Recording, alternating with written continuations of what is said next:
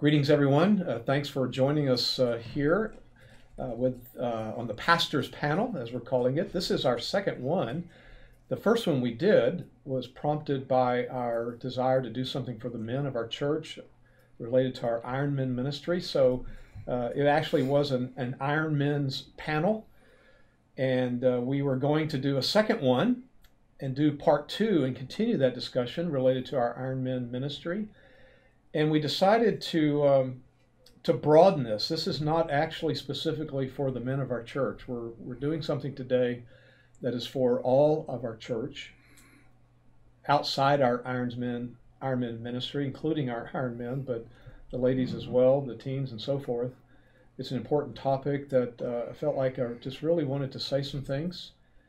I wanted to get some key people to be a part of this panel. I was thinking through various pastors that would be uh, excellent choices to have on a panel like this, and I made that list of the three I wanted, and lo and behold, I realized they were all three part of our church here, already on staff. So that was very Amen. convenient. It worked out that uh, you guys were all here. Didn't cost me any money extra to get you in and all that kind of stuff. You chose Kyle over Sinclair Ferguson. Yes, I did. We I chose you you three over a long list of, of wow. very uh, notable people. So I appreciate your so willingness to be a part. Now, I wanted to talk about some things uh, as a pastor here, and we as pastors for our people, maybe people outside our congregation as well they end up watching this, about what our responses ought to be, what our thinking ought to be related to all that's going on right now in our world with this pandemic, the, the COVID 19 virus, and how do we view all that, and especially uh, how we are to relate to the government restrictions that are being put upon us. How does our church respond to that? How should we respond? Uh, uh, so on and so forth. So, uh, yeah, I think it's an important uh, topic, and hopefully we'll be able to to share some things that will, uh, you know, help all of us uh, think biblically about all, all this. At the end of the day, it's what we want, is to think and live in a way that, that pleases God. So I trust that uh, the end result will be that. But just to kick us off, I was thinking about just what this time in our history has has prompted uh, around the world. I mean, there's been there's been some some some good things and some bad things. You know, on the uh, the, the bad side, it, it seems like pressure like this stirs up a lot of a lot of hatred. You know, people uh, saying uh, ugly and hateful things toward other people, and the tension between views and all that kind of stuff that becomes apparent, and uh, that's uh, sad. It just kind of reminds us something about human nature, I guess, that we are all born lost and depraved and fallen, and even when we come to Christ, we still have the flesh that we battle. And uh, but anyway, that's an interesting thing uh, that's happened. But on the positive side, uh, whether you're saved or lost, there's been a it seems like a, an increased awareness of the of the value of of relationship, you know, with other people. Have you guys noticed that or, or thought about that at all? Why, why do you think that's true, even for lost people? Yeah, I mean, obviously, wisdom has it. Even Solomon has declared that uh, when death and mortality is thrust before us, we start thinking about the deeper things of life and things that maybe matter more than uh, others, other um, trivialities or superficial things that we might pursue. So it doesn't surprise me that, that that's happened even at, at even for unbelievers. And it's a grace from the Lord. I think. Yeah. So thinking about uh, eternal things, even if, even if they don't define it that way or call it that, yeah. that's what they're doing, and maybe they don't even know that's what they're they're laboring over. Um, something about the vertical there, but um, even in the horizontal realm, uh, yep. what do you see happening among among people? You know, on the good side, let's say. Yeah, it seems there's um, a realization and a longing the longer that this goes um, for people to be together in person you know that people are more and more realizing the value and the importance of real relationships not just virtually not just on social media but face to face with one another. Some of that even stems you know first and foremost in the way that we're made. We're made for relationship first and foremost with God, or creator, but then even with other humans. And you know, maybe in recent years as technology has exploded, we've forgotten that. We've, mm-hmm. you know, we've grown accustomed to texting and, you know, our, our social media feed, but suddenly we're seeing it's it's a helpful tool, but it, it's a cheap substitute to the real thing. Yeah. And right now we're we're starved for that real thing. Yeah. So even, that's true of even unbelievers. Uh, theologically, uh, we believe that man is made in the image of God. So that's that that's one of the theological, uh, you know, foundational uh, reasons for this happening amongst people. Again, unbelievers don't think that way. You know, I'm, I'm made in the image of God, and I want to express that by being with other people. You know which which reflects, as was already touched on a little bit, but the the relational nature of our God. Yeah. The, the the triunity of our God. There is an eternal relationship amongst the persons of the Godhead. Once again, when we were created, as we we have a way for us to express that image, and that is through relationship, like we said, with God Himself and horizontally with other humans. And that fellowship is always spoken of, the intimacy of it in the scriptures as face to face and in the presence of, mm-hmm. you know, um, which is what we long for. Now, now, this is true of all people, what we're talking about, the, the need and desire for relationship, but uh, you can take that a step further even with, with believers then. There's even an extra desire. What, what is that desire uh, that's within us when it comes to believers and, and our fellowship with one another? Why, why do we want that? What's the purpose of it? together, to be together, um, to fulfill the one another's. Yeah, to be encouraged. Yeah. Yeah, we, we feel that responsibility, that need to minister to one another, you know, and to live out the one another's uh, in, a, in a community, a family of believers, and to worship corporately as well. We have that that compulsion, you know, within us. God puts that within us. So here we are, human beings, wanting to be with other human beings. But I see that in my neighborhood when I walk around, people out in their yards, you know, and even though they're standing. Uh, yesterday, there was one lady on one side of the street, end of her driveway, a lady on the other side of the street, end of her driveway, just fellowshipping, you know, talking. And my grandson and I rode our bicycles between them, you know, and it was it was it was kind of cool. Say hi, you know. And I don't hardly know them, you know. And some passage, one passage at least that tends to uh, just kind of wrap all that up would be like the Ephesians 5 18 and 19 passage where commanded to be filled with the Spirit. That is a unique gift to those who are in Christ. And the result of that filling of the Spirit, one of those things is the gathering and in particular even the singing to one mm. another. And so the, the one of the not only the benefits of being filled with the Spirit, but the results of it is this desire to gather and to encourage and one, admonish one another in song. Yeah. I've been really encouraged as I've heard that from people, you know, people saying that through text and emails and phone calls and and so forth, and the little few interactions that we've been able to have along the way of, of just how much we long for that, especially in the Zoom calls. You know, we've been doing all these Zoom calls our small groups meeting together via Zoom and so forth. And, and that said, every once in a while, well, we sure we love this technology, but we sure long to be together, to worship together, to sing together, to encourage together. That brings up a question, though, on the part of, of many. Okay, that that's the way we're made. That's what God desires of us. We have that obligation.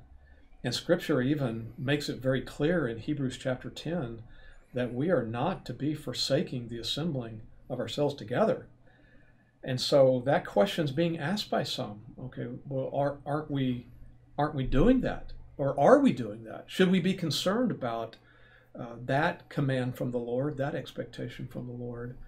And uh, is there a place for saying, you know what, that's that, that's a higher priority than some of these other responsibilities that we're, we're sensing from our government and so forth? And we'll talk about that in a moment. Uh, so let, let's let's turn our attention to that. That's Hebrews 10, 25, I've received questions about this, and I've heard from other pastors that they have received questions from people uh, about the same thing. What about this verse, not forsaking the assembling of ourselves together? So, uh, uh, Kevin, maybe you can read that for us. It's uh, just for go back to verse 23. Read 23, 24, and 25 of Hebrews 10. Yeah, let us hold fast the confession of our hope without wavering, for he who promised is faithful. And let us consider how to stimulate one another to love and good deeds, not forsaking our own assembling together, as is the habit of some, but encouraging one another, and all the more as you see the day drawing near. So we have a mix of things in those verses, and if we had read a few verses before that, we see that mix continue of these uh, expectations God has of us has uh, of us individually in our own walk with the Lord and our relationship to Him and drawing near to Him and in our relationship to the world, you know, holding fast our testimony and the confession of our hope that's in Christ, and we sense that obligation from the Lord. And then it goes back to, to some of this corporate stuff of stimulating one another to loving good deeds. That's what we were talking about earlier, really, about the relationship uh, obligation that we have in the body of Christ and with that understood, then there's a little bit of a, of a negative uh, side to that. You know, that means that we've got to be together to do that, to stimulate one another to love and good deeds. We can certainly do it through texting and email, and, but nothing will ever replace that intimate sort of being together in each other's presence. And so we can't be guilty of forsaking our own assembly together, as is the habit of some. So it is presenting that when this was written, that there were some people potentially being put into this category of violating this. Um, and so we need to talk about that for a moment because I think it's important that we clear up some confusion here about what this verse means and what it does not mean. So contextually, um, th- this is this is speaking to individuals something about their own hearts. What, what, do, what do you think the real concern is about a person's heart here that's expressed in this verse? I think first off, it's a it's it's a deliberate choice in the heart of an individual to neglect the regular gathering. And even in verse 26, in, in kind of summing it up, for if we go on sinning deliberately. And so it's someone who is in sin because they are making a conscious choice individually to neglect. They do the not want to be together. Right. it's willful. Yeah, yeah, very willful, very strong. There is not in the heart any desire to be with other believers. Yeah. Yeah, the, the, this is talking about the people that have the opportunity together and they're choosing not to do it as individuals. Uh, and, you know, in that culture, uh, there were certain reasons why some of these people would choose to stop gathering. Of course, they didn't have the kind of church buildings and things that we're aware of today. Many of these towns, uh, there were small cells or, or meeting in, in a home, a small group of believers, the minority of people, and so forth. What, what was one of the things that uh, they were certainly concerned about in their time when they would gather together in, in a public way like this? What was one of the threats that they dealt with? I mean, persecution was yeah. a very real threat. Um, and all throughout Hebrews, you know, for some, apparently there was this this question and this temptation: Is it worth it? You know, have I made this right choice with pursuing Christianity, or should I retreat? Should I go back to Judaism? You know, and and with that, this concern that maybe in the hearts of some of the people there is this heart of unbelief, perhaps here manifested that there's really no desire, no longing to be with other believers. Yeah, believe it or not, even as much uh, uh, as it's been true that, that the Jews have been persecuted uh, for their faith by the rest of the world, um, in this time there was a relative safety in Judaism that did not exist in Christianity. So there was this pull by some as they faced potential persecution. Hebrews has already talked about the loss of their property, uh, imprisonment, all that sort of stuff. Um, yeah, there was a relative safety to go back uh, to Judaism from whence they, they came. And so, yeah, that, that's what's being addressed here that all of a sudden some people are not showing up anymore. They're not coming around. And so the question is being being asked on the part of faithful believers what's going on with these individuals that one individual that they don't want to be a part of the assembly you know what's going on Well, so it is a willful thing. It was a personal, individual choice, something wrong in their own heart. They weren't really committed to Christ.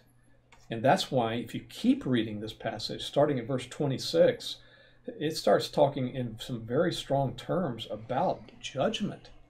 And you keep going and you realize, well, what's being talked about here is apostasy. The idea of making a profession a faith in Christ and love for Christ and then abandoning that. This is not the only portion of Scripture that, that addresses apostasy, but it's the idea of abandoning your relationship with Christ for something else. And Hebrews elsewhere even says that's, that's a dangerous thing because the true apostate uh, never comes back again. So you, you, can understand the concern on the part of, of the true believers at that time when they're looking at some of these individuals not coming to the corporate worship time, as small as it was, perhaps, uh, it could represent apostasy, and that was a great, great concern. So, is is that what's going on today? Is is that why we're not meeting? On know, Sundays, Kevin? I, I, I, mean, I know that's a question in a lot of people's minds. I mean, uh, it certainly has uh, run through my mind at times, and I, I think in the past, apart from studying the context, it's it's easy to drop into this and pull out verse 25 and even use it um, sort of in a um, in, a proof text kind of way and i think sometimes rightly so in our atten- in intention to uh, emphasize the importance of the corporate gathering of god's people uh, mm-hmm. no doubt but I mean, you you you uh, you studied through, you preached through Hebrews, uh, the whole book of Hebrews. Uh, maybe you can help us carry this. I mean, discern between. Well, is this a command that I can never miss church? Um, am I am I disobeying this? You know, on, when I go on a family vacation and I yeah, good Sunday. Um, I mean, I've thought that. What, yeah. How would you? How yeah, would you, I, have heard it taught that. How way, would you answer? You know, in a real legalistic kind of environment, yeah. you know, a controlling environment. Man, there's a there's a church. Uh, there's a sort of a church Gestapo or something that's looking out for people. Where were you? What were you doing? Yeah, yeah, uh, yeah. But uh, yeah, you could you could say, well, does this apply to the person that uh, uh, they were sick? I mean, you know, okay, you know, I understand you don't feel good, you're sick, but you know, the Bible says don't forsake the assembly. You know, you're an apostate, or you go on vacation, or a business trip, perhaps yeah. you're traveling, you're, you're called out of town. Yeah, a lot of those things come up. I think you challenged. I think even as we discussed earlier this week, even I think you you even challenged my thinking on this, uh, pushing pushing me back into the context. And as you guys were talking, just thinking through, you know, the spa ladies just finished you know the hermeneutics study how to study the bible. I mean that context is so critical.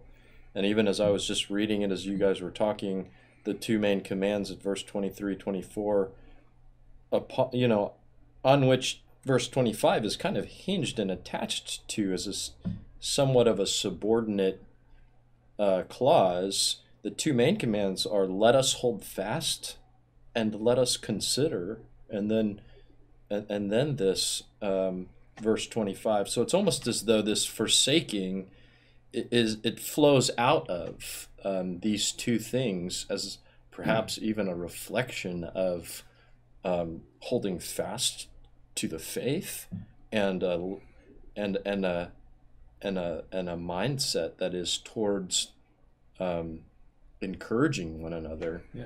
And so I think that that that's helpful to me, but yeah. Um, well, we've, we've certainly wanted to be careful through the years, and, and, and just speaking as, as a pastor myself through the years, to, to grow in this understanding that as much as I, I, I want people there every Sunday, you know, uh, you, you got to be careful with this mindset that I kind of heard growing up, you know, you need to be at church every time the doors are open. You know, that's sort of that extreme view. Anything less than that is you're forsaking the assembly. Mm-hmm.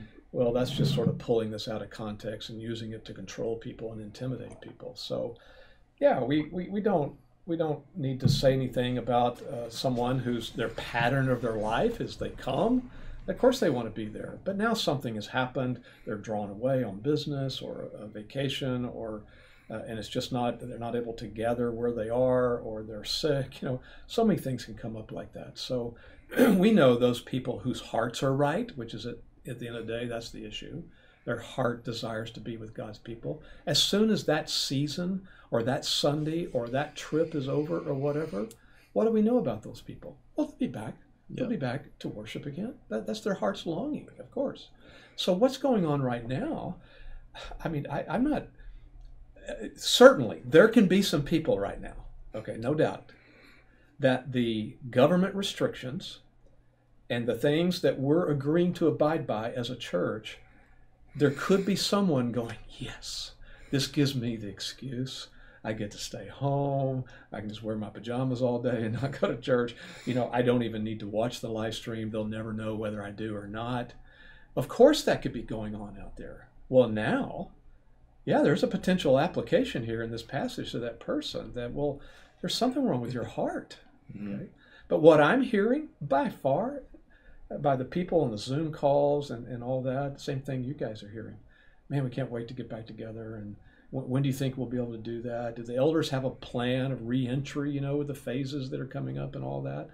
What an encouraging thing it is to hear that from people because they, they want to get back together. So the short answer to all this is that no, uh, w- this is not a case of churches, if they're agreeing to submit to the government, which we'll talk about, that they're forsaking the assembly. We are not in sin by doing this as a church.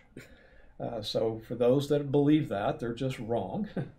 um, and uh, I, I think we even need to be careful to, to remember that not every place in the world even has the ongoing privileges that we have week after week here that we've, we've grown accustomed to. I mean, there are countries in the world where gathering together is a constant challenge. I mean, they're living with this, maybe have been living with this for decades, if not centuries.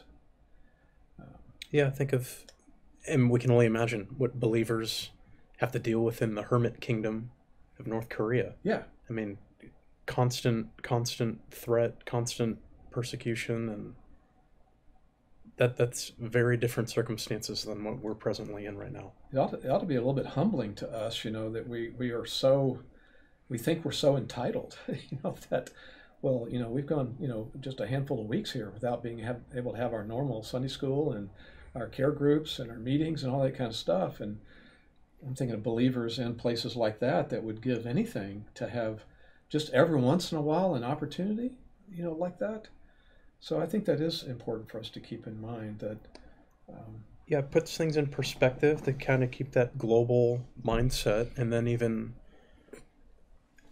for these weeks, um, the the wealth of resources that we do have readily accessible, that we can turn to, you know, the many many good books in the English language that we can benefit from. Are there any Puritan books like that, you think? Or There's mm. many, many, the many, you know, sermons that are online that we can listen to, teaching series, and how many ministries out there have been so generous, making things available for free, courses, even, even something, you know, as simple as uh, we have the English, we have the Bible in a translation that we can read, Mm. and how many copies of it do we have at home? Yeah. That even putting things in perspective from church history, you have believers that went periods where they didn't even have it in their language, or if if they did, um, I'm thinking even of like the the Waldensians in the the That's what I was 1200s. And, thinking of. I know. Yeah. yeah, you're stealing Kevin's comment. I know. Go about the Waldensians. Yeah, Go you, ahead. you have uh, this group of believers in Italy and France in the I think 1200s and 1300s, where um, they didn't really have the Bible in their language, or if they did, uh, and and even had it, um, they had portions of it. You know, maybe by by just n- not even whole books of the Bible, but maybe a family would be allotted one particular book or a portion of a book. They would take it and commit it to memory. When they would gather together, eh, they would recite scripture from memory, and that's all that they had. Yeah. And eh, then again, under constant threat of persecution, and so they'd have to scatter. And as they're scattered, all that they had of the Bible was what they had memorized. And, and I have before me my Bible, the many copies that I have at home, you know, let alone all of us. So when those people were scattering, then they were definitely in sin, violating this verse, forsaking the assembly. I mean, that's a good illustration. Well, no, that's not the point. Yep. I mean, these people longed for for that, and they loved the Word of God, and they loved Christ. You know. So again, totally different issue. Well, what this is addressing. I think we'd also have to admit, I mean, some of those people under the direct persecution um, did try to assemble, um, but I, I think maybe it'd be helpful. Do you guys think the situation is there a nuance, and even in our situation right now, that makes it somewhat different than um, in, in than those cases where um, you know it was uh, clear hostility yeah, against Christ. yeah, against Christians. Yeah. Um, let, let's go ahead and talk about that. Uh, let's maybe turn to Romans 13 because it brings up the issue of the of the of the role of government. While you're doing that, I couldn't help but think of something. I, I think it was Mark Dever that said this recently on the same subject about uh, he was using the illustration of, of leper colonies. You know, those lepers who were being forced to separate from the rest of the of the population because of their disease. Of course, they didn't understand a lot about that disease. There was unknown stuff about it. Does that sound familiar? there were unknown things about it, and so these people were were put away. You know, and and you know by either forced or by their own agreement. Um, I'm trying to think how that happened in the movie Ben Hur, whether it was forced or in agreement. Anyway, uh, that's where we get our theology, right? From those movies like Ben Hur. Love Charlton Heston. Charlton Heston. But uh, you know, his, I think it was his mother and sister, if I remember right. But uh, you know, they're down there, and, and uh, they were not allowed to be with the rest of the population. You know, they were quarantined. And were those believers who were down there were they guilty of forsaking the assembly? Should they have said, you know, I'm sorry, but my obligation toward God here is above every other obligation, and so I'm not going to go to this leper colony. In fact, I'm showing up at church on Sunday, you know, and I'm going to I'm going to live out the one another's. You just imagine how would the uh, other believers have have handled that? You know, I don't think there would have been even some fist bumps uh, with the people. You know, Let alone a holy kiss. let alone a holy kiss. You know. So let's look at uh, Romans 13. Uh, I told you to turn to it, and I didn't. And um, so, uh, Cal, read just uh, 13 verses 1, 2, 3, and through 5. All right. Let every person be subject to the governing authorities, for there is no authority except from God, and those that exist have been instituted by God. Therefore, whoever resists the authorities resists what God has appointed, and those who resist will incur judgment. For rulers are not a terror to good conduct, but to bad. Would you have no fear of the one who is in authority? Then do what is good, and you will receive his approval. For he is God's servant for your good. But if you do wrong, be afraid, for he does not bear the sword in vain. For he is the servant of God, an avenger who carries out God's wrath on the wrongdoer. Therefore, one must be in subjection, not only to avoid God's wrath, but also for the sake of conscience. even goes on and talk about you know this is fleshed out when you pay your taxes you know verse 7 we, we have an obligation to do that now obviously we understand the the context here this was written in a time where they had a very godly government they had uh, leaders that that uh, were moral uh, they uh, loved christ they loved the church and they wanted to pass legislation that would always protect god's people so I, I'm sure it was easier for them, or, or do I do I misunderstand something here? Am I, is there some history that I need to clarify? There is some. What what would that be? Uh, very different from our time. Um, or our time is very different from that time. Um, even coupling with, say, First Peter, where Peter writes similar things. You know, it's a time where uh, the authority is Nero, and Nero. Just a little bit about him. I mean, he was he was a madman. He um, history tells us at one point was married and in a fit of rage uh, kicked his pregnant wife, killing her and killing the baby. Uh, later on in his life, he found a young man by the name of Sporus. He had castrated, dressed up to look like this wife, and married her. I mean, a, a very vile, Sorted. sordid, immoral man who then, at a certain point, began to turn his attention upon Christians and pour out persecution on them, uh, literally, even taking people, Christians, and making them human torches to light up the parties that he would have. Hmm. And so, you know, a, a, a vile, wicked man who then turns persecution against believers, that is so different than what we have today.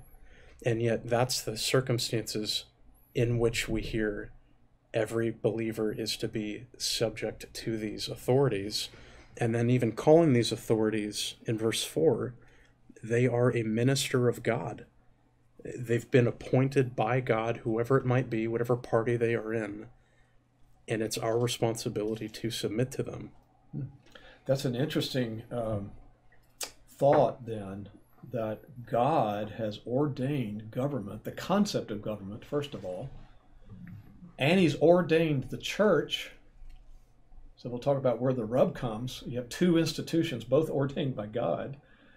Um, so not only the concept of government, but even here and elsewhere in Scripture, the, the idea that even particularly that are in place are there by God's God's sovereignty in some way or another. You know, uh, Proverbs comes to mind. Even the heart of, of the king is in the Lord's hand. So even even the kind of decisions they make. So yeah, there's the environment, and we're told to submit to government. Now you put all the the passages together about government. You also are able to come up with some sort of understanding uh, of what their purpose is as well. And I think we understand that well, there's there's going to be certainly the need for order in society. You know, even even corrupt countries and nations, uh, order of some sort, you know, has a benefit. You know, even in those those countries. So the the ordering of society is, is one of the benefits here, and one of the purposes here you find for the punishment of evildoers. That's a purpose of government. They take up the sword for that. We, we need to allow them to do that and support their their call to do that there's another side of that, and again, I'm kind of a, a, broad stroke all over Scripture what the role of government would be, but on the pot, on the negative side, the punishment of evildoers, but on the positive side, really the is the welfare of the people. Uh, there, there is, and I don't mean welfare with a capital W, you know, as far as a, a, a program, but I mean in general, the welfare of people. The government is to be concerned about that. So when the government is expressing they have a concern about the safety of people, then we're faced with a choice. I don't like it, it's infringing upon my, my lifestyle, or they're servants of God, it's ordained by God, and I need to I need to submit to it. So yeah. Uh, even even go back to Genesis, you know, where capital punishment is discussed in Genesis nine it's it's it's government that has that capability of the death penalty in the nation of Israel. Uh, it was a na- it was a national state, a political nation state. We're not we're not in that today, but uh, there was the right of, of their government within the nation to carry out an eye for an eye and a tooth for a tooth. So there's the negative side again, but there's a positive understanding of that. If they're to take life, that's for the purpose of protecting life. You know, at the same time because the reason they're being punished is that person took a life, and life is important. So government must protect life. So let's think about then what's going on uh, today. Um, the government is is has announced restrictions, and the question is: Are we to see those as legitimate restrictions? Does it fit the role of government from Scripture that the government would announce restrictions concerning this virus? And the short answer is what? Sure. It's yes, sure is. Government is fulfilling their role before God of being concerned uh, about what's going on. And so we have an obligation to submit to the government. That's a, that's a very important biblical principle, actually, submission to authority all through Scripture. Do you think people really get that, of how important that is to God, submission to authority? It comes out in more than one way, right? Kinds of submissions. Where do we see that in Scripture? What kind of Yeah, I mean, I think obviously, uh, you know, our original panel was going to be uh, the husband and wife relationship. Even it's typified there as well, and I I think inherent in submission is even sometimes the idea that we don't necessarily one understand the reasons um, why we're being told what we're told, or even we may disagree sometimes with those reasons, and um, and yet we are called to submit uh, in um, in deference uh, to to authority. I mean, I think in some ways that's inherent even within the idea. Yeah. Um, and and I, I I mean I think because some people would say, well, what if the government's not carrying out the responsibilities that I think even see in Romans 13? What if I don't think they're legitimate in the way they're practicing that? Well, is then do I have to submit to them? Which I think is where we're probably going to go here in a minute with conscientious disobedience and that Yeah. whole issue. But I mean, I, I just think of verse 5 even here of Romans 13. Paul, it isn't necessarily, though he does lay out for us in this section the role and purpose that God ordained government for. And he says, this is what they're to do, and this is what God has called them to and charged them with. And yet, he doesn't ultimately place the reason for, the ultimate reason for our obedience to them in that necessarily, though it's part of it. In verse 5, he says it's necessary to be in subjection not only because of wrath, but also for conscience sake. Yeah. Um, and so it surfaces. he doesn't say, yeah, do this. Now, if you agree, Yeah. or if it fits your perspective and your understanding. Yeah. I think that's hard for people today. I mean, I think that's well, it's a hard because of something built into us in the flesh called pride. What you're talking about is a humility that's required on our part toward the government and the things they're saying they know. I heard one pastor this week call it an intellectual humility. It's a humility we have to exercise toward what they're saying are facts that they have gathered. gathered, gathered. Because the, the tendency is to be, well, I don't know, I'm going to have to gather my own facts, you know. Now, I've watched a couple of videos over here, and I've read a report over here, Yeah. and it disagrees with that, you know. So what? I like this one because it agrees with my lifestyle that I want to maintain. So I'm going to go with that one. No, there's a humility that's required to say, I'm going to submit my will to the government's will in this, in this restriction. Now, you go back to the other, uh, like the husband wife, you brought that up. That's in Scripture, authority. Um, children to parents, authority. Uh, slaves to master, authority. We might really kind of see the analogy of in, employers to uh, employees to an employer, perhaps, um, in our culture. It could be an implication there. So, all these different kinds of authority all flow out of the fact that we are to submit to God. And what's amazing is even within the Godhead, there is submission and authority, you know, that's demonstrated for us, even though they're equal. That's that's a hard thing for us to comprehend, you know, the Son submitting to the Father. It is an important principle of submission throughout Scripture. I do wonder sometimes when we as parents don't take it seriously in our own lives, submitting to government, our our comments that we make, our attitudes that we have, and our children are watching that, and yet we're telling them, you need to do what mom and dad say, you know, because we're the authority. Somewhere along the way, And, and we wonder when we have issues with our children, yeah, them not respecting authority, whether it's us as parents or them in the classroom, whatever it might be. Could it be the example that's set before them day in and day out from mom and dad? Um, isn't this what Scripture calls us to? And, and they pick up on that and they see that. and it betrays a, a a greater desire within our own hearts to be right rather than to cultivate a spiritual fruit of humility And now you're talking about priorities. You're talking about being right versus developing some spiritual fruit. You said the same thing. In this passage, it's not about whether I agree or disagree or who's right or right wrong. It has to do with something higher that for the sake of conscience, really our conscience before God. There are higher principles going on in these kind of situations when we choose to respect the government and honor the government than just our lives and our lifestyle and the economy or anything else. Well, there's another principle, or there's another issue that surfaces here. I think, as my mind, you know, has been in the wisdom literature, even through our survey series of the Mm, Bible, that's and nice, Ecclesiastes and Job, you know, and it, it's it's it's as though God everywhere tells us, well, at the end of the day, we don't definitively know what He's doing, Mhm. and at the end of the day, we don't definitively have um, a our finger on the pulse of what is true and what's not. I think that's particularly challenging in, in the age that we live in, where information is.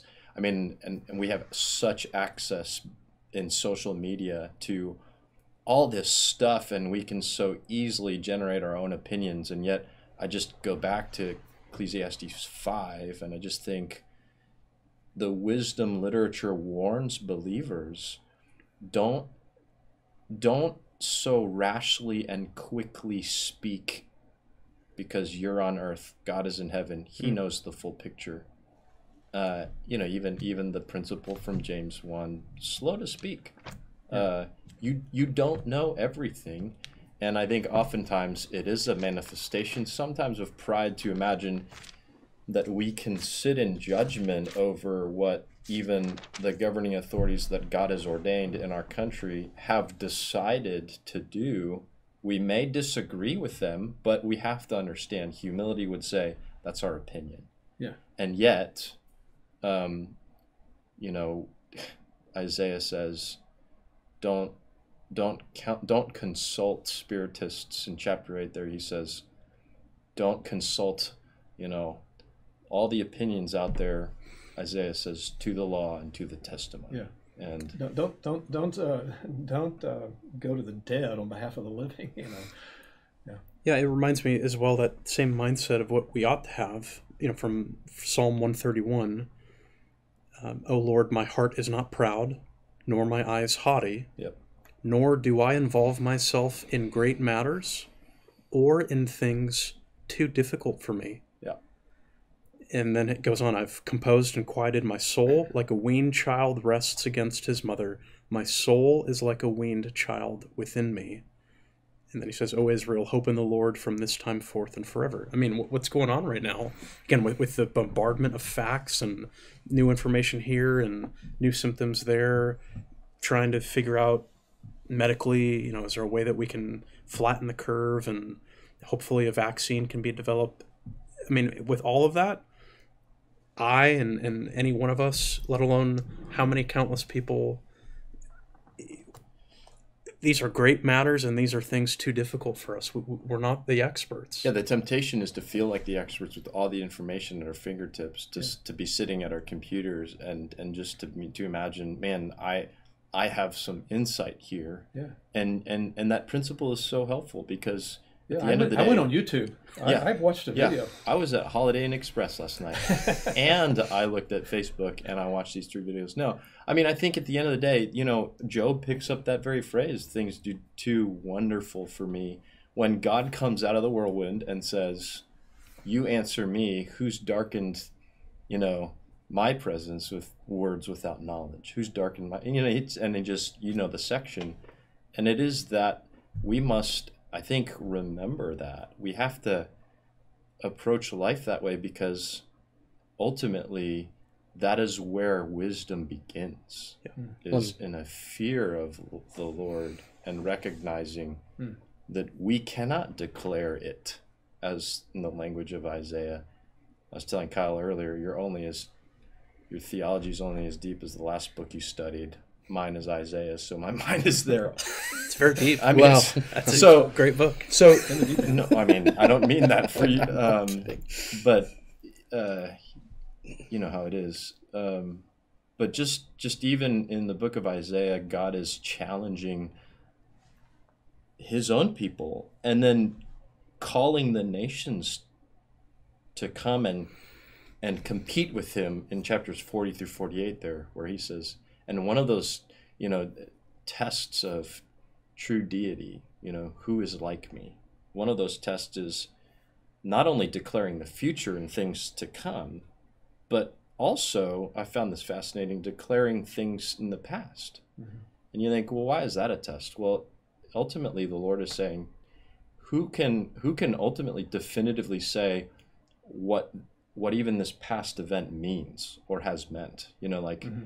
Who has the final evaluation or say on even the events that you can see what's ultimately behind them mm-hmm. and and his point is only god can yeah. make that final judgment and that that's what prompts the humility yeah. right there is yeah. understanding that yeah and in, in, in, the cultivation of humility i think a, a pastoral admonition to one another and to our church family too as an overarching principle of the last few minutes of our discussion would be where where and where where do our greatest energies lie when it comes to the cultivation of knowledge mm-hmm. are we seeking to through God's word understand our God or are we spending more time on social media the internet I got to figure out this virus. Yeah, trying to figure out the virus. And when, when we put those things together, are we pursuing earthly wisdom or are we pursuing things that are above?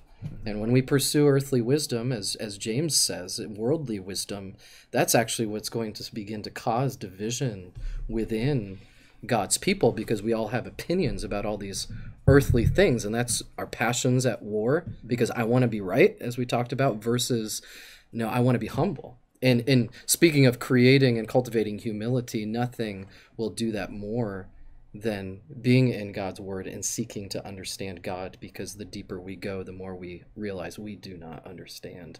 And those earthly things begin to fade away and we cultivate a hunger and thirst for the knowledge of God. Good. Now with all that said uh, we do that we pursue the word we pursue truth truth we pursue walking with Christ as our priority we submit to government, and yet the very word that we're saying that we're going to study also says there's a place for drawing a line sometime. Uh, Acts chapter 5 is kind of the classic verse we go to, right? Acts chapter 5, verse 29. Let's look at that and talk just for a few minutes about where do we draw the line and, and actually exercise what some call is civil disobedience, standing up against the government, saying no to the government. Is there ever a place for that? And the short answer to that, yes, is yes. There, there is a place for that. Um, Danny, read Acts five twenty nine. Sure, Acts five twenty nine. Uh, Peter, in response to the leaders of the day, he said, "But Peter and the apostles answered, We must obey God rather than men." Yeah, so there is a place, and again, you alluded to the context that they had been told to stop preaching and truth. And so he says very clearly, we must obey God rather than man. This is another one of those verses like forsake not the assembly. Just pull that thing out and use yeah. it for whatever yeah. you want, you yeah. know. But okay, you got to be you got to be careful with it. Yes. So there is a place, but there's a there's a, a, a huge necessity uh, for um, a huge burden, you could say, for proof that what is happening has brought us to the place that is necessary to obey Scripture. And I'm trying to say that with really as much verbiage as possible to make the point, even with that choice of verbiage, that it's a complicated issue. It's not something you just rush into. I don't like what's going on, so I need to obey. I'm sorry. You know, Acts five twenty nine. It's my life verse. It's on my refrigerator. Yeah, I just think of like my child saying that to me when I give them a command. Yeah, like, Dad, this is I like especially even a command that's not in scripture. Yeah. Eat your food. It's like, um, yeah, I must obey God and not man. It's just it's that kind of yeah. it, there. There is a misapplication. In other words, that you're pointing to. We can't flatten it out like that. There's more nuance to it because in what Peter's, in the context of what Peter is saying, the, the, the, leaders have explicitly commanded them to not do something that they explicitly know from God's word they cannot um, obey. Yeah. And so, in that sense, you know, there's that's it's not just any word from men I can throw off because I and God is my excuse. You know, Yeah. that's not what he's saying here. Yeah, it's sort of like an analogy of uh, people who make their decisions and defend them by saying, "Well, God spoke to me." You know, so what do you do with that? Uh, it's it's using a, a concept that's really uh, not valid. Well, this means something practical in a, in, a, in a time like this with the coronavirus and what the and, and the, what the government is telling us, the restrictions they're putting on the church. Uh, we, we can't just flippantly take some anecdotal evidence. When I say a high, a necessity for a high level of proof that's necessary to drive us to disobey government, it's not anecdotal evidence. It's not some video on YouTube. It's not hearsay. It's not the conspiracy theories that are going to float around all the time on a lot of different subjects. I mean, I do believe Elvis is still alive. That's a different issue, okay? Wow. Because that's not a conspiracy. no, that's the category of stuff we talk about. He's hanging out with Bigfoot right now. And Bigfoot, you know, there's a category of stuff that tend to become World Six feet hide and seek champion. well, of course, there are conspiracies going on all the time. Of course, governments corrupt. I mean, uh, many times, all that's true. But we, we, we, for us, it has to it has to mean that we we humbly say we don't have all the information that's needed. We humbly say we can't just trust everybody else's opinion out there at any given moment. We have got uh, to be careful in, in in taking the position that well, listen, you know, hey, I've talked to a couple of people. I think this whole thing's blown out of proportion. I mean, this is just crazy. You know what's going on right now. You know, this is this is this has crossed the line for me. Well, based upon what? What what evidence do you have? What real proof do you have? What hard evidence is there? Are we being careful to not even fall prey to the ad hominem arguments? That comes up in times like this where people start being attacked, you know, whether it's a particular government leader or a, a scientist or a CDC person or a doctor locally or whatever, just start attacking them, something we don't like about them, as if that's the same thing as having hard evidence about a virus. No, it's not. So yes, we have to be very, very careful, but there are there are um, really issues that we have to look at and prioritize them when the government says certain things. Okay, there there are things that the government could tell us to do that go against what God says, and there are things the government could forbid that yet God clearly commands. We understand that. Yeah, and just like the your discussion, just to bring it full circle back to the beginning about Hebrews 10 and what it really means. I mean, this is where it gets complicated because sometimes we have a hard time discerning when when that is. You know, for a number of factors, we might confuse the stepping of the stepping all over of our constitutional rights, which is in one sense an abuse. But it isn't isn't it abuse is it an abuse of Acts five proportions that that allow us to then say what Peter says? And I think that is where sometimes the confusion arises. Would you say? Yeah, I, I would say that. Uh, there's a difference between our clear cut biblical obligations that we are hills to die on, let's just put it in those, those um, colloquial terms, versus uh, some issues that are less important in the whole scheme of things uh, that the government might impose upon us. We, we are going to say that some things we just need to see them where they really are in the pecking order and say that, you know what, on this, this is not an issue that I am compelled to disobey the government and suffer the consequences for it. I mean, you get into that kind of language that there are places for obeying God rather than man, and then being willing to suffer the consequences for it. Well, depending on what the government tells me to do, they enact a law that says absolutely you know churches can't meet on sundays. They can only meet on saturdays. Well you kind of have to weigh that. Am i willing to go to jail over that one? I, i'm just speaking to me personally. Probably not. I'm going to meet on another day you know which um, fulfills my obligation to the lord.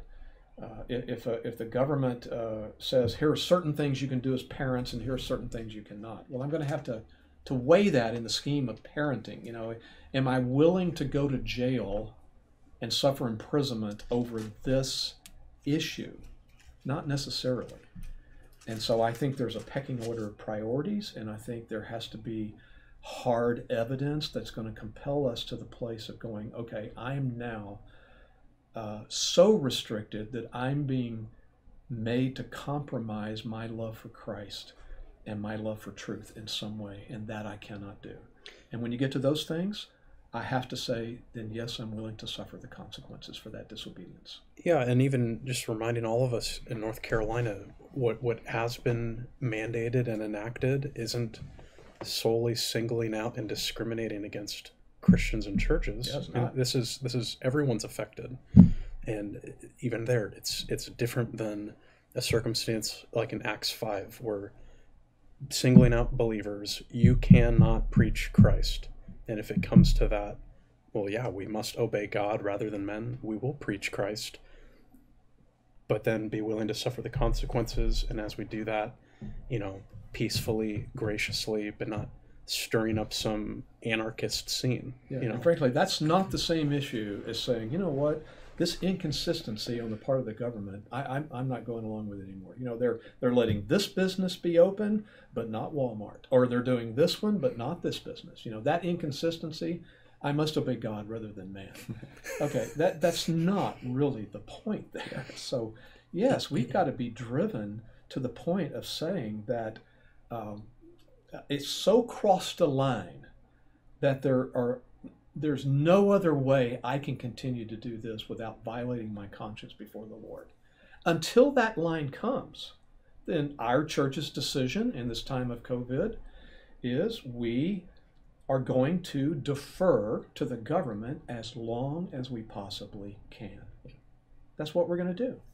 So Yeah. people ask me, well, what do you mean by that? Well, it could be another three months, could be a six months, could be a year. And my answer is, it could be. Yeah, I mean the Could gov- the gov- the government is. And let's be clear: the government is going to be inconsistent. Yeah. The government is going to be unjust. There are going to be abuses at times, you know, and and it's not so much that we are um, denying that, you know, it, but it, it's nor saying it's a perfect government. yeah. Again, it's not the reason why we obey them. At the end of the day, that's that's what we're saying, right? We submit to them because we submit to the Lord. And I think one of the principles that we're bringing out here, even in our obedience to the Lord and to His scriptures, and working these principles through in our own circumstances with wisdom and nuance, um, my mind goes to um, Mark chapter 2, where you guys remember, you know, when Jesus is saying, you know, of course, we're not Sabbatarian, but the principle remains. Jesus is saying, even to the religious leaders there, um, the Sabbath was made for man and not man for the Sabbath. You remember? And then he, the example that he brings up, in, in I think it is uh, David's David. hmm you know when when he and he explicitly says david when he was on the run there was a season and circumstance in which he did something that was explicitly forbidden by god's law and that is taking from the consecrated bread and giving it to his men to eat bread that only priests could partake of. And it's like and so even though that it just all of that just simply to say there's there is a sense in which we have to with wisdom apply these biblical principles to our current circumstances. I would say for us the the similarity is that we are in a unique season. Like david was in that sense on the run uniquely so and it was okay for him to do that mm-hmm. though it was expressly forbidden by the lord in normal circumstances. And so you know, perhaps it's helpful to consider it even like that. And I think what's always needs to be on the forefront, especially of the pastors and elders given the charge to to shepherd the flock, and we're we're responsible for the souls of the flock to know that we will stand in judgment before God as to how we have shepherded our people through this particular circumstance and obviously throughout the, the tenor of our shepherding. But this will be a, a, a unique time in the life of shepherds where they will stand before God and answer.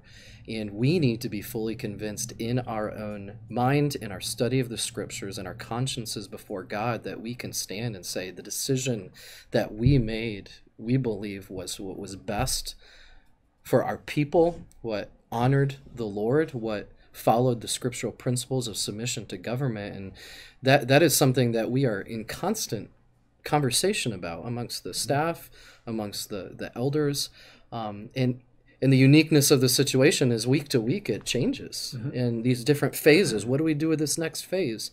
But again, it comes back to even that moment where we we are we have been placed in this particular time frame to shepherd our people, and and and we need to be fully convinced that when we stand before God, we can answer for each one of our decisions. Yeah, that that brings up this too. I think as elders, uh, if the question comes up, um, well, then what if this continues?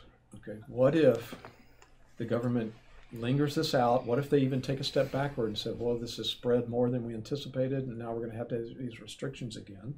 Our attitude is then we're, we're going to still defer as long as possible. We're going to keep finding other ways to uh, to minister. Um, I think a, a perspective that we keep in mind along with that is how easy the idea of rights across, you know, uh, control people. You know, you mentioned this earlier. We might have a constitutional right to something. Yep. That's not the same thing as, as Scripture and yep. as the Bible. The Constitution, even of our own country, as wonderful as it is, it's not the final authority on anything. So those rights might be violated. We we might lose some rights, but that's where idolatry comes in. It's how easy we make idols out of things that we care about so much. Even things like freedom that we make an idol out of freedom, and we've gotten very accustomed to that here in the West, in America. We're very independence minded. You can make an idol out of independence. You can make an idol out of comfort. You can make an idol out of how we normally do things as a church. I mean, if it got bad enough, if the world really got serious enough, we might too, as a church, have to take a step back and restructure everything we do. And it may never be the same as it was. Well, have we made an idol of the past? and the things we've enjoyed? Have we made an idol out of doing what we want to do because that's the way it is for in America? We, we, we, we, we, we get what we want. We've got to be careful about that. Again, that's the other side of that is pride. I don't like people telling me what to do.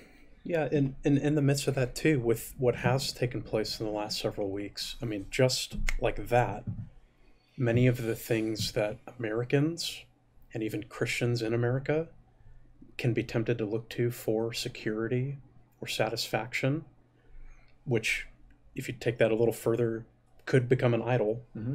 You know, our our wealth and our securities there, our entertainment and sports, or or you know traveling, whatever it might be, the the American dream, just like that, Those has been put on hold and paused. And maybe for some of us right now, us not liking what's going on is because the idol that we've been clinging to, God has removed that. And if that has happened, that's then to draw us to look back to Him for security and for satisfaction. Yeah, you wonder what what is what are God's God's purposes for allowing this to go on right now. That's got to be one of those reasons because He always wants that from His people. What you described right there and the fear the, the the the the other issue is that then we we quickly replace those other idols with other idols well, other than God. We're going to figure this thing out yes, and come up with new yes. ways to do things and yes. new idols. That's yeah. so. It's like Calvin said, the human heart is a factory of idols. Yeah, I was talking to Kyle earlier. You know, there there is um, a fear when those idols are being tampered with, and I think it's helpful even to recognize that at the core of two different responses to this thing um, is this idolatry of this life yeah. and this fear because there are some on opposite ends of the spectrum. There is one end that says uh, is is captured in the person who's just so fearful of getting the virus, holding holding themselves up, washing their hands every ten seconds and then there may be on this other side people who despise that and say, no, we need to open up. We need to just get out there. But, the, but, but fear is still behind that because while one is fearing for his health and his life, the other is fearing the economy is going to crash. Both have yeah. both have sort of the same problem behind them, though they look even perhaps politically on the opposite ends of the spectrum. Yeah. Fear is still driving them, and it's still a worldly mindset. It's very interesting, you know, that you could have a fear of not getting my lifestyle back. Yeah. Uh, that is a fear. Well, we as elders, I mean, we, we're weighing all of this, and we are, our attitude is we're going to defer as long as possible because we take those principles about submission and humility seriously. So, again, asking the question, what, what, what if it, it lingers so much that we start getting also over time um, truly believing that something is amiss? I mean, something is amiss here it's starting to cross a line. It, it, it you know, it, it, it's time that we as elders take another look at this. We talked about this last night in our elder meeting a little bit. That well, we as elders would do that. Uh, we're doing it anyway. We're praying about it. We're discussing it. We would continue to do that.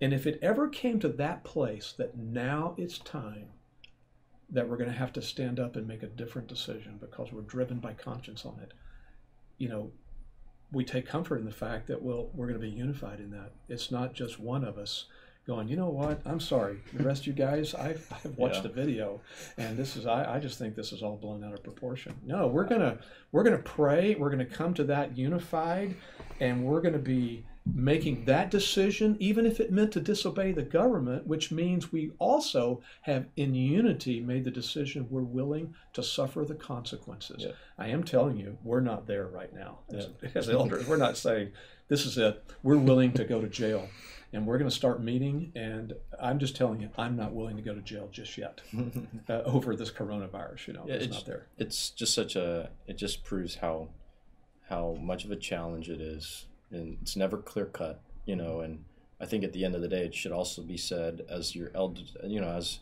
as the elders are wrestling with this. At the at the end of the day, the sheep. Um, we hope that our people would trust us in that in those decisions, and we have to be careful. We're trying to be as careful as we can, and um, with our own consciences, and then also with the decisions we make that we know impact our sheep. But mm-hmm.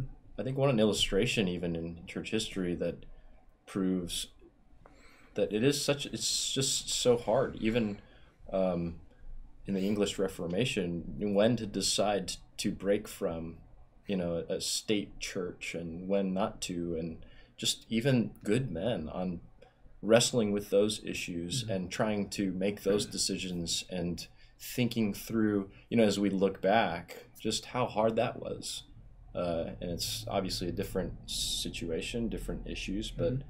same principle. Same principles. You know, yeah. for us, and just a perhaps a friendly reminder for our people and for us as well as elders.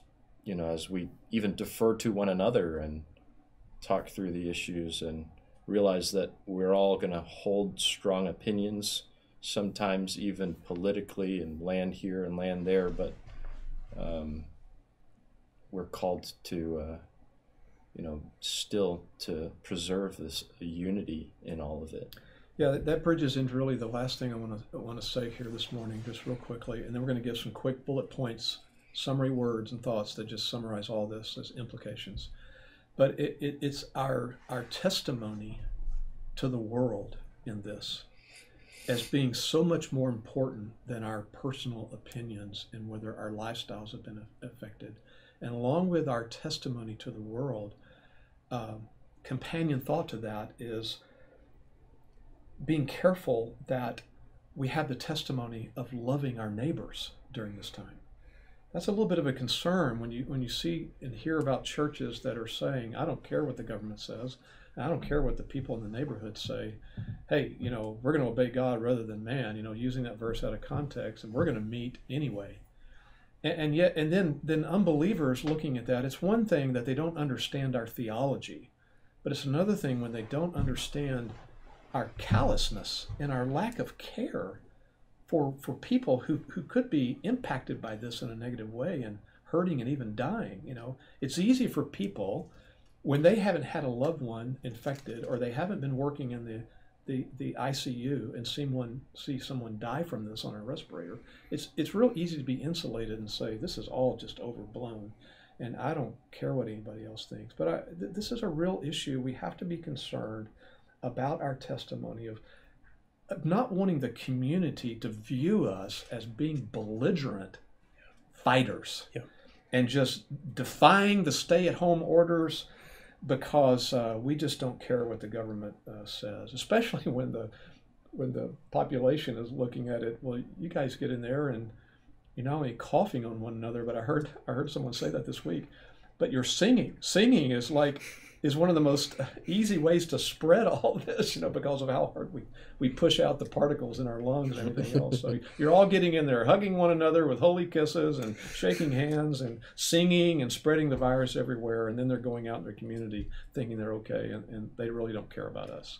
So, I mean, that's a little bit of, a, of an extreme way to state, state it. But the principle for me comes from 1 Peter 3, uh, verse 15, where in the context of evangelism to the world, we're told in 1 Peter 3 15 that we're not only to make sure that we've sanctified Christ as Lord in our hearts, that we're absolutely committed to Him, to the Lordship of Christ, even in practical ways in our lives, but at the same time, uh, and being ready to give a defense, uh, but to do it with gentleness and reverence as we talk to people. But verse 16, and keeping a good conscience so that in the things in which you are slandered, those who revile your good behavior in Christ would be put to shame.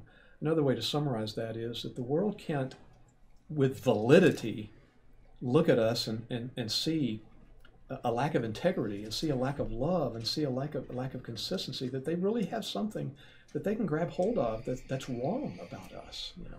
Yeah. we have to be concerned about that. Yeah it's let let's let the gospel be the stumbling block and not our belligerence, belligerence yeah or whatever character.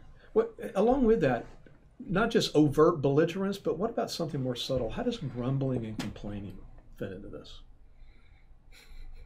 Does it apply? Oh yeah. How? What's so bad about that? Uh, I mean, I like grumbling. There's a temptation. it feels good, actually. Yeah, it's it's quite natural. Could be quite natural, except in God's eyes, it's it's so very serious and I think it's become. I mean, I was mentioning this to the other men, um, and not that I'm immune from it. I have to guard my own heart constantly, or and even in the last few weeks, there have been some moments and times, even at home with my family, that I've had to seek forgiveness for my grumbling and complaining spirit. And I've had to repent from that. Why? Because in God's eyes, it's sin. It does not please Him.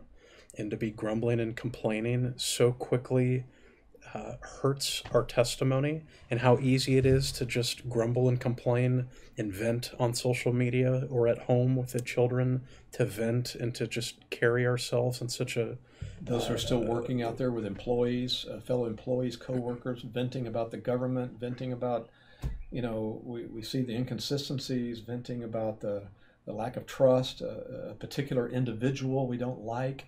Uh, yeah, all that ends up being a damage to our testimony. It is because it it's it's so, you know, moment by moment, um, grumbling and complaining is maybe amongst others and, and around those near us, and yet it is calling into question God's sovereignty, God's wisdom, and God's goodness. And if we want to be reminded of how serious it is, look at the people of Israel as they grumble and as they complain in the midst of God's gracious, kind provision for them. Ultimately, um, that's one of the key things that prohibits them from entering the promised land, mm-hmm. which then going into the book of Hebrews is symptomatic of this evil, wicked, unbelieving heart. Mm. So let all of us, myself and all of us and anyone watching, again, be reminded God views that as something very serious, very sinful. It so withers and dries up spirituality. And, and you know, it could be expressed in so many little things. Uh, you know, the government saying, uh, our, our desire is that you'd, you'd wear masks when you go into the grocery store or whatever. And it's the, I'm not going to do that. I look stupid in it. I don't see the point in it. And uh, I don't like the government telling me what to do. Well, sometimes it's just for the sake of conscience. It's for the sake of testimony. It's it's for the sake of love for your brother. Yeah, it's, it's don't die on those hills. Yeah, Philippians two. It's considering others more important than myself. Yeah, it's not just looking out for my own interests, but looking out and considering the interests of others. Yeah, speaking of Philippians two, I mean the prohibition there against grumbling and complaining is yeah. tied directly so that you'll be blameless uh, and innocent uh, as you know uh, I forget the language there but holding forth a word of Mhm. life um, you know as stars I think uh, Yeah, it, it is Yeah. tied to your testimony in a crooked and perverse generation it is. When we grumble and complain, we are not making God and the gospel look great. Yeah, good, good, good way to say that. All right, here are the here are the bullet point implications here at the end. We've uh, we've gone uh, uh, uh, as long as we, we, we, we can on this, but trying to keep it uh, uh, to uh, under three hours uh, yeah under three hours. Not Lord of the Yeah. Rings extended So edition. uh, here are the implications from my perspective. Post production, we can put an in- intermission or something there we go. Uh, start with this: pray. Okay, what what should our response be during this time instead of grumbling and complaining? Well, let's start prayer, of course. Prayer that the government will have wisdom. Prayer that God would overturn their decisions for His purposes. Prayer for our protection. Prayer for our testimony. Pray that uh, that this would end. I mean, it's in all this that we're saying. It's not that we don't want those freedoms back. Uh, I I want to I want those again, of course. So let's pray. Um, second, remember the importance of, of, of, our, of, our, of our voting that we do when there are elections. And I, I throw that in here just from this standpoint. In a crisis like this, we are going to need to defer to the government. We certainly don't want people in there that are Neros. We don't want people there that have other agendas, that they are going to seize on things like this to persecute Christians and to uh, bring pressure upon the church. If that's their bent because of their worldview, well, don't set them up, you know, for being tempted in a time like this to live out those evil worldviews, you know. So we do have to take that seriously. It's a big responsibility we have to vote according to our worldview and try to put people in place that, even if they're unbelievers, that they'll try to think wisely about their roles, about protecting people, the welfare of the people, and punishment of evildoers. Those are biblical concepts. So we must remember that as well. Third, and this has come out in what we've said, is we need to be careful to express our opinions and our desires and our perspectives graciously to people so that uh, we preserve the unity of the church. Be Mm. careful how you express it to other people in the body so that it's not a divisive thing over politics and who they voted for and who they didn't vote for and whether they like this government leader or don't like it or whether they agree with the restrictions or don't agree with the restrictions. It's not worth dividing the body over that. Be careful how you speak to one another about your, your convictions and your preferences. And if if you speak to government officials about it, be gracious in how you do that as well. That's a privilege we have. It's a freedom we have to express our desires, write them a letter, whatever. But do it in a way that honors God in our testimony. So remember that. Trusting God. That, that's an implication of all this. We must trust God. You brought up the issue of even trusting how God is working through the government and working through the elders, our decisions, even if we're wrong. It doesn't affect God's sovereignty, it doesn't thwart his will according to Scripture. Trust God.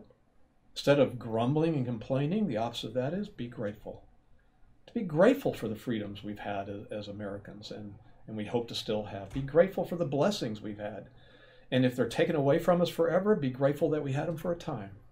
Uh, gratitude really is uh, one way to say the cure for a grumbling and complaining heart. During this time, be intentional in ministry and in worship. Be intentional as you can. And a word to the dads be intentional in worship.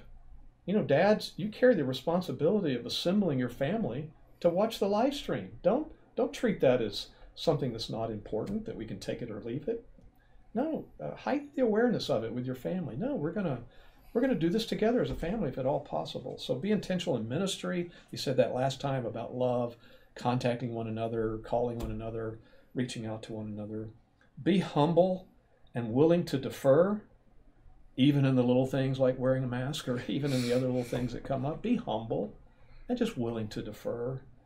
And lastly, for me, is summarizes some of this be more concerned about your testimony than your rights and your opinions. There, there are things more important.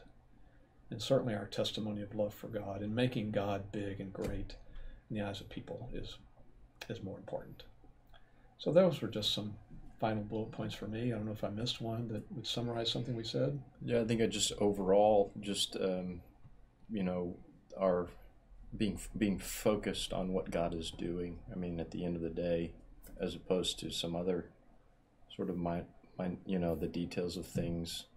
I just think of Paul. I mean, it being imprisoned even unjustly for the gospel, and yet in Philippians 1:12 saying, I want you to know that my circumstances have rather turned out for the greater progress of the gospel. He would never have been attuned to that Yeah. had he been only focused on his own rights Mhm. um, as a Roman citizen, you know. And to see that, what has come of it? Well, some letters of scripture. Uh, I mean, just That's good. I, it's great. Just a few. Uh, just a few. I mean, I just think there is, in that sense, such an example to us given, um, you know, even in his life and in the in the account given to us in Acts, even as even loving your neighbor in the midst of being hauled to Rome. You know, you think of Acts 27, he's shipwrecked there, and his concern is for the lives of those people, the pagans who are taking him there. Yeah. and uh, just fascinating, I mean, um, to think through. But all, all of that to say, we would miss that if our perspective weren't um, bigger Mhm. and trusting God, looking and waiting upon Him to see what He's doing Mhm. so that we can jump in and seize those opportunities. Mm. Uh, we would otherwise miss that if we were looking for uh, conspiracies as to how to fix the economy or whatever it might be. Well, let's uh, pray for all these things. I'll lead us in prayer as we close. Um, yeah, so we look forward to what the Lord's going to do next, and we certainly, our hope is that we can uh, gather again as quickly as we can. For those of you who are part of Twin City, our elders uh, have put together a, and are trying to finish uh, the plan of what that would look like for us as a church as phase one uh, starts at the end of May. Uh, we're targeting uh, May 24th as the first Sunday of, of some level of gathering again. And so we'll see if the Lord, uh, as James says, if the Lord wills, we'll do that. And if not, we'll be grateful for whatever He has uh, for us. Let's pray.